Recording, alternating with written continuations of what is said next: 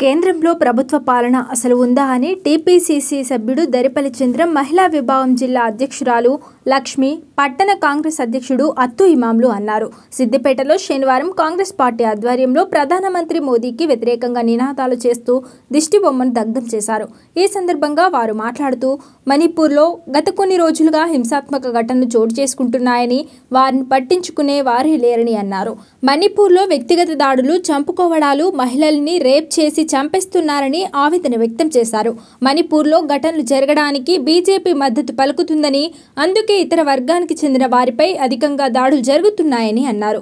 ప్రజలకు రక్షణ కల్పించడంలో రాష్ట్ర ప్రభుత్వం కేంద్ర ప్రభుత్వం విఫలమయ్యాయని అన్నారు. మోడీ హయాంలో ఆయా రాష్ట్రాల్లో అల్లర్లు జరిగాయే తప్ప అభివృద్ధి జరగలేదని అన్నారు.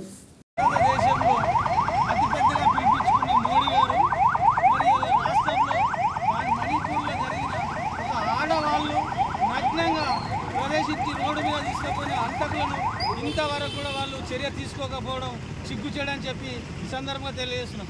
కాంగ్రెస్ పార్టీ ఎన్నిసార్లు ధర్నాలు చేసినా వినలేకపోతున్నాం.